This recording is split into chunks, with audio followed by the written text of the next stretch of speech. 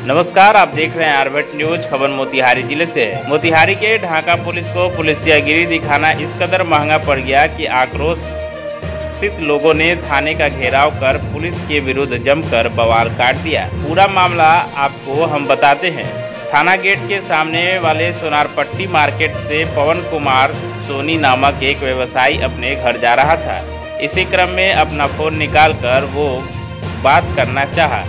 तभी थाने के एक कर्मी ने उससे बकझक करना शुरू कर दिया, क्योंकि पुलिस को लगा कि युवक उसका वीडियो रिकॉर्ड कर रहा है। इसी को लेकर बात विवाद हुआ और इसी बीच पुलिस वाले ने युवक को मारकर मोबाइल फ़ोन तोड़ दिया, जिसके बाद आक्रोशित व्यवसायी और स्थानीय लोगों ने थाने का घेराव कर जमकर बवाल काटा।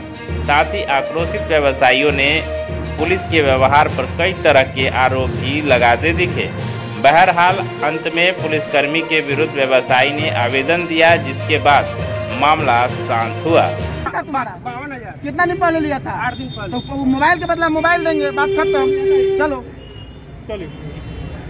तुम पत्रकार है आई छील के हम तो मोबाइल पटक है। हाँ मोबाइल तुम बात कर रहा था वीडियोग्राफी बात कर रहे थे। वीडियोग्राफी कर रहा था। बात कर रहा था। बात कर रहे थे। इसीलिए अभी निकाले जैसे पैकेट से छीन लिया है पटक दिया।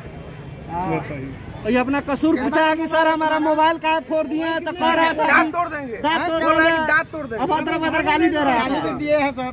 आई ढाका थाना का यही कारनामा है।